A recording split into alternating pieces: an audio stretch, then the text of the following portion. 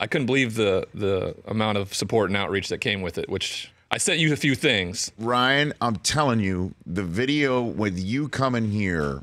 I mean, obviously, being yourself is the, the, the most crucial aspect of broadcasting, and where people say, you know what, that person, that guy, that that girl, that lady, that guy is real, and and you just came on you're like hey this is who i am this is where i've been this is where i want to go let's all hang out for the next three hours that's what uh, r- literally over half a million people shared Yeah, that on five Twitter. hundred and twenty thousand right now.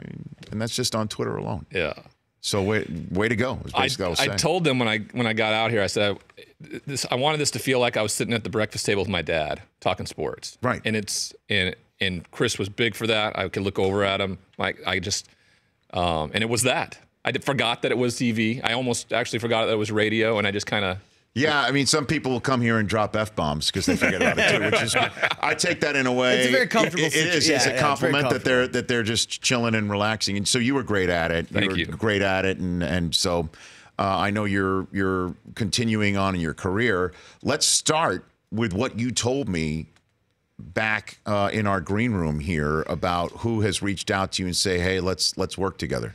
Yeah. You and I are, I guess, colleagues now, right? Okay. Uh, Rich works for the works for the NFL, NFL Network, and the NFL just hired me uh, two weeks ago. All right. uh, to uh, I'm, I'm one of the program coordinators for the NFL Legends community, which is essentially helping players with their transition from the NFL to real life because it's it's so difficult. Very similar to what Jay Glazer and Nate Ba- Nate Boyer do with MVP with vets and players because that transition is is so difficult. You go from being uh, on on top of this pedestal to really your career being over, and then what's next? Your identity. No matter if you played 20 years or really one or two years, you really don't know what that identity is, and you have to have have help figuring it out. And we're there to be a fellowship. And I I didn't think I was a legend. That's the way I interpreted it. And I walked into one of those lounges at the Super Bowl back in San Francisco, and Chad Pennington was there, and Warrick Dunn, Donnie Edwards, all former teammates, friends of mine, that just put their arm around me and said, you know, what we were able to do to get where we got, that makes us NFL legends, regardless of what anybody else thinks. And um, the fact that, you know, four years removed from going into that room, um, Tracy Perlman and, and, and the NFL and Mr. Goodell have asked me to to represent them. I mean, that's if you would have told me that four and a half years ago when I walked out of a prison cell that I'd be working for the NFL or even at, that I'd want to be around the NFL, um, that that those are miracles. Well, because again, having been around the league as obviously as I, I have been, and I knowing the commissioner as I do and the program as well, what what also is making you a legend is what you have done in the last four and a half years. Because what the league wants to do is tell all these kids who come off of campuses like Washington State with the resumes like you had. There's a lot of big men on campus who are about to be drafted fourth, fifth, sixth round, or not at all, who are going to be wondering what the hell just happened, or they are drafted top five in the draft. And three and a half years later, because that's the average length of an NFL career, they've got to find something else to do. And they might find that a very difficult transition. And you being able to be there, right there, every step of the way, that is invaluable. That is legendary stuff, Ryan. I appreciate that. Uh, that's fact.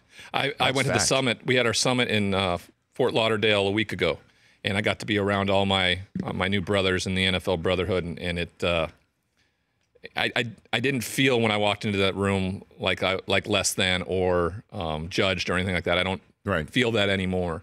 Um, and they make it feel welcoming, and I know that I have a purpose, and that's all what it's about. When a player retires or a player gets through the NFL career, they find another purpose Right. and and and I, I really feel like I found that, and uh, I'm really grateful for the opportunity. That's great. So are you going to be some because the legends are from the legends community are on the field at the combine, Yeah. talking to the kids, talking to the prospects in the meeting room stuff. Is that the sort of stuff you're going to do? I too? got the opportunity to do it two years ago when it was the Deshaun Watson, Patrick Mahomes um, uh, group, Okay. Mitchell Trubisky. They were in my group, and you know, you really could tell the guys that were. Uh, I walked in the room and told them, uh, "Well, you have." Mark Brunell stand up and say, "I played 19 years in the NFL," and I, I stand up and I go, uh, four years in the NFL," and and uh, it almost is. I almost feel shameful a little bit when I do it in the room with Tony Richardson and, and Mark Brunell, and they they play that long. But But no, but Ryan, your your NFL experience is is the average. an NFL experience. Well, I mean, it's average in terms of length, but uh, all the other aspects of yours is unique.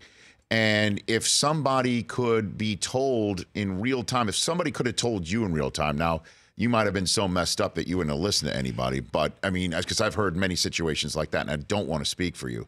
But if you could be there in real time for somebody three week, even three weeks from now, because this stuff can Yeah. hit you fast as an NFL rookie, really, really, Really fast. fast. So that's invaluable stuff. And it was. It was really interesting to see the guys who stepped up in a leadership position in within a leadership group of quarterbacks.